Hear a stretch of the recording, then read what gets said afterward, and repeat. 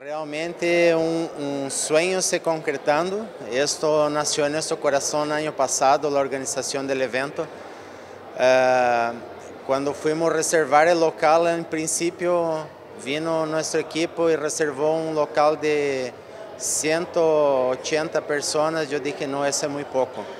Es muy poco porque queremos ser algo realmente grande, disruptivo. Tenemos que hacer con que más personas puedan llegar. Y el viernes ya teníamos eh, ocupación total, ya suspendimos las, las inscripciones y no, le, no dejó de llegar y creo que estamos superando las 400 personas, un, éxito total y lo más uh, lindo tuvimos el apoyo del, del gobierno, Senaxa, viceministro de Ganadería, La Rural, doctor Pedro Gali, uh, prestigiando nuestro evento. Pero encima de todo, todas las personas que están aquí, los estudiantes, los técnicos, los ganaderos, eso es lo que está dejando el evento brillante. Y la, las dos primeras disertaciones que tuvimos, uh, mira, yo creo que si, si tomamos esto, uh, ya pagó el evento, las otras cinco o seis uh, presentaciones que vienen ya son extra a toda a informação e a relevância da informação que tuvimos, Julio. Algo que, se os produtores levam o que se aprenderam nas duas primeiras charlas, nós vamos ter um upgrade, um salto gigantesco em la produção e la ganadería de nosso país. Doctor, el confinamiento ya es una herramienta que ya se usa mucho aquí en Paraguay, sin embargo tiene un potencial de crecimiento muy grande todavía y los productores, por lo que estaba diciendo, ávidos de conocimiento también, entonces estamos por buen camino en ese, en ese, en ese derrotero. Seguro, Julio, porque uh, ¿qué pasa? Uh, yo mencioné en la apertura sobre la cuestión de la integración agricultura-pecuária, ganadería. Uh, cada vez más vamos tener menos áreas para pasturas, menos áreas para hacer la cría y la suplementación, uh, no solo de la etapa final, é por supuesto que esses quilos uh, que ganhamos nesses últimos 90, 100 dias de engorda que temos uh, são como uh, 6, 7, 8 meses, um ano, se forem em pasturas.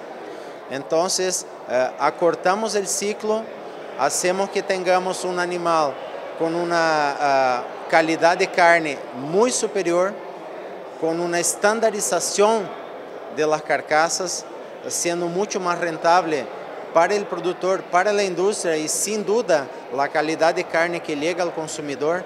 Entonces cuando vamos sumando todo esto, uh, no podemos retroceder. Hoy uh, 25% de los animales que se van a frigoríficos son terminados bajo confinamiento. Yo creo que en los próximos 5 o 6 años eu creio que não chegamos a 10 anos, nós vamos ter uma inversão uh, desses números e vamos passar a ter mínimo 75% de animais que se vão ao matadero terminados em frigorífico, sem contar também com a parte de suplementação em recria e o que acabamos de escuchar, programação fetal. A importância de suplementar la vaca en, en el tercio promedio, tercio medio de la gestación, que influye en, en el desarrollo del animal, en la cantidad de fibras musculares, algo tremendo que es muy reciente, estudios de uno, dos, tres años máximo atrás, eh, muchos estudios nuevos, entonces lo que estamos trayendo a, a, al país es realmente información de mucha relevancia que puede cambiar uh, el futuro de la ganadería. Finalmente, doctor, para liberarlo, hay muchos temas de que tratar, pero ¿cuáles fueron los conceptos, cuáles son los conceptos específicos o puntuales que, que se trataron ya o se van a seguir tratando en la jornada? Y están a cargo de profesionales nacionales e internacionales. Así mismo, eh, eh, esos, esos conceptos uh, fueron o evento foi delicadamente preparado, pensado e organizado. Aí toda uma sequência dentro das dissertações em que começamos a falar de los números de Paraguai. Agora entramos em programação fetal. Vamos passar a recria. Depois vamos a, a, a los tipos de dietas para os confinamentos.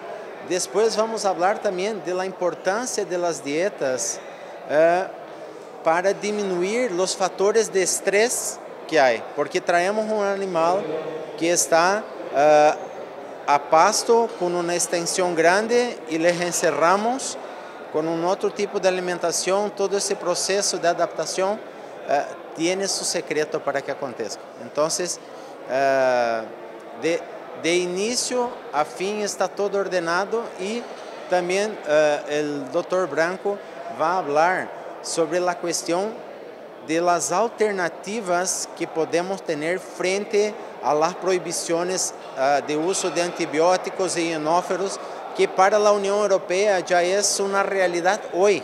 Los produtores que estão bajo CITRAP para poder exportar à União Europeia já não podem mais usar esse tipo de, aditivo, de aditivos. E então o Dr. Branco vai falar sobre isto, porque temos que, como empresa de nutrição, estar listos para poder entregar ao produtor que não pode mais usar essas ferramentas uh, uma alternativa que seja ainda rentável para que ele possa seguir produzindo.